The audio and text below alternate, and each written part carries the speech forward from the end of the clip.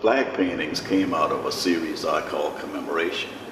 And this particular one, I used pattern fabric, fabric that I think suggests the era from which this kind of uh, flag would have come.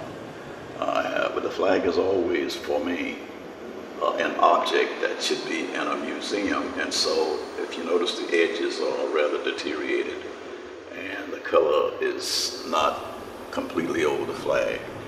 I want to get that process of aging, that series should suggest that the flag is not one that you can fly around today, but one that should be an heirloom for the person who owns it.